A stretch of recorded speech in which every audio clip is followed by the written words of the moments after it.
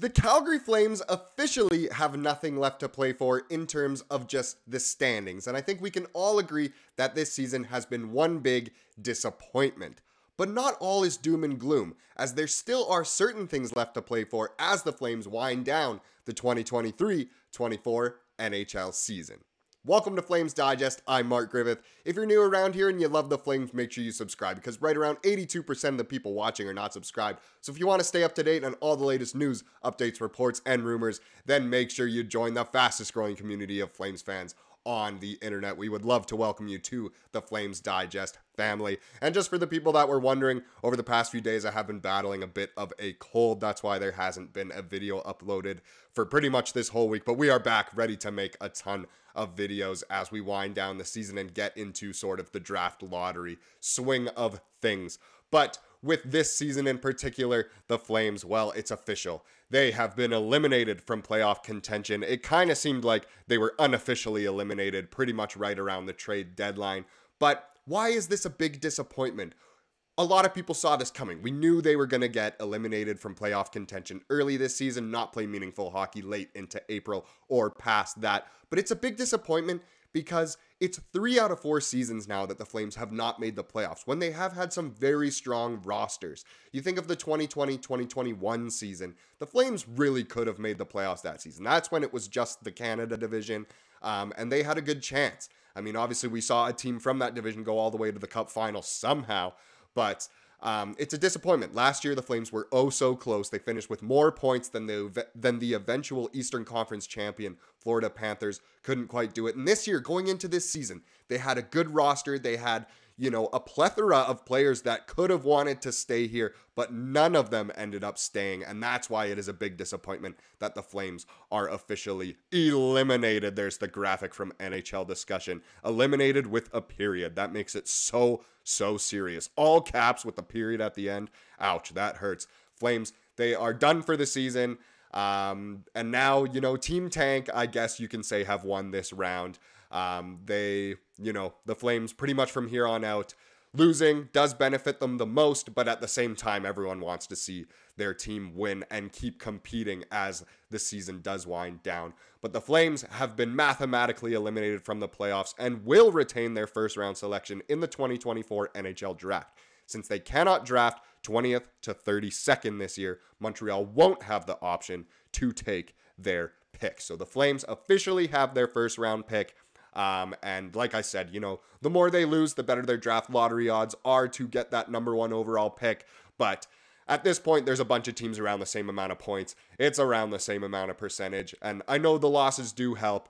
And a lot of people will be saying that as the season does wind down. But no matter what, we can chalk it up as a big disappointment. And just with the thumbnail as well, there might be a video on this later today, if not definitely tomorrow. But Martin Pospisil, once again, throwing the body around in a way he should not be. Elbow to the head of Josh Morrissey in yesterday's game against Winnipeg.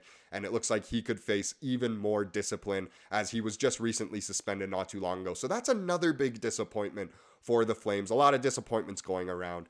But I mean, say la vie, I guess. Um, so the rest of the season, let's let's have a little outlook on the rest of the season because there are still seven games to play, and it could be meaningful hockey for a bunch of players, especially the young guys. Now let's see what Huska had to say. So our expectation for what our guys bring to the table will not change, Huska told reporters in Winnipeg postgame. Of course, he's referring to now that the Flames are out of playoff contention. And since the last uh, video on the channel, the Flames have played twice they lost to Anaheim at the Dome, very disappointing, and then lost to Winnipeg last night, of course.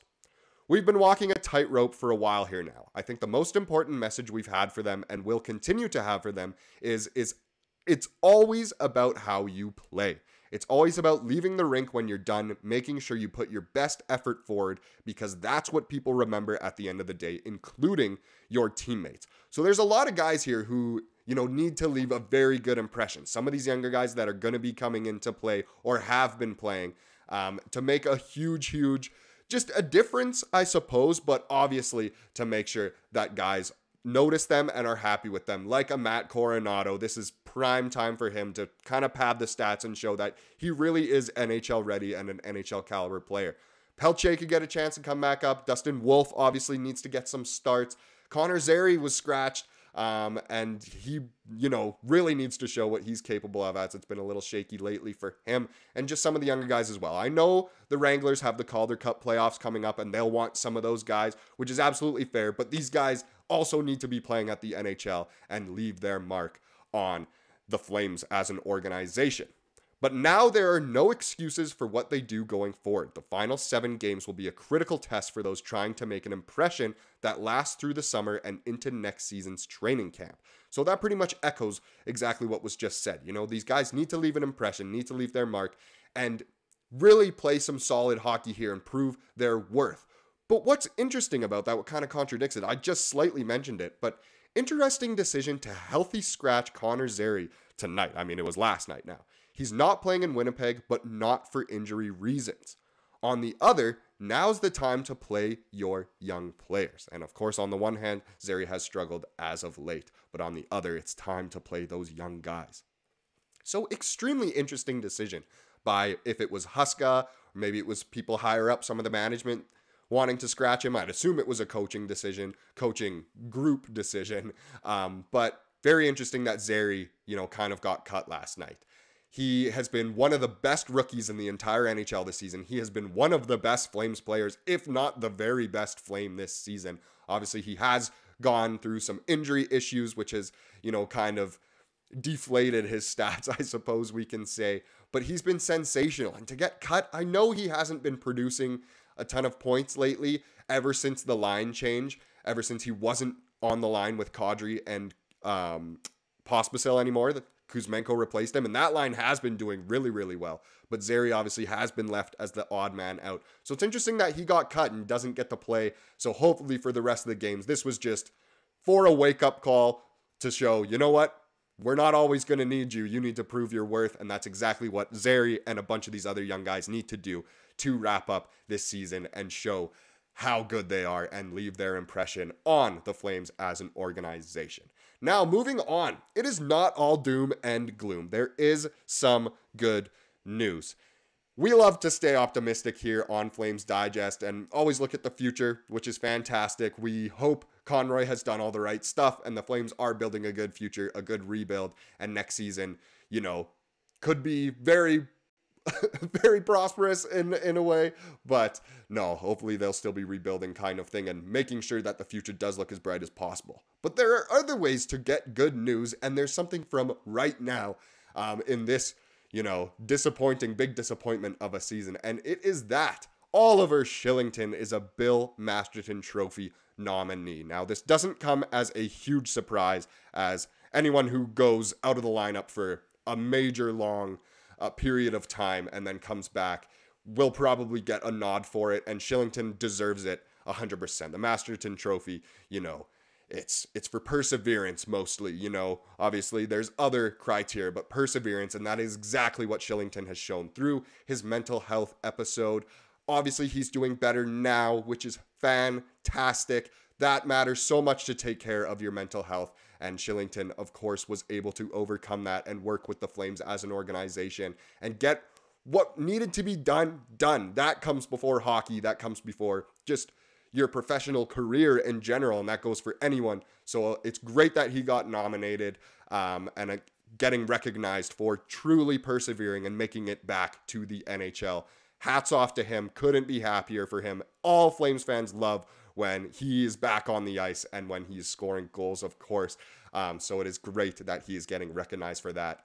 Congratulations, Oliver Kylington. We do hope you win that trophy. But either way, we're more happy that you were able to overcome your mental health issues. Now, let's finish off with the comment of the day. Now, obviously, there haven't been videos for the last few days, so I had to go back to one of the previous videos. Um, and it kind of goes along with, I think, what a lot of Flames fans mindsets are as the Flames do wrap up this big disappointment of a season. And it comes from Shane Jones. I'm not per se on the team tank bus, but the more balls we get in the hopper, the better. Couldn't put it better, you know? Not everyone wants to see the Flames lose every single night, but they do realize that losing at this point in the season kind of is what is best for the Flames. And it sucks. It sucks watching the Flames lose, especially when they get, you know, destroyed by teams they shouldn't be, as we've seen them lose to, you know, San Jose recently. Well, that's probably over a month ago now, but Anaheim the other day, Winnipeg last night kind of thing, where the Flames are just giving up a lot of goals and it does kind of stink. But it does help them in the long run.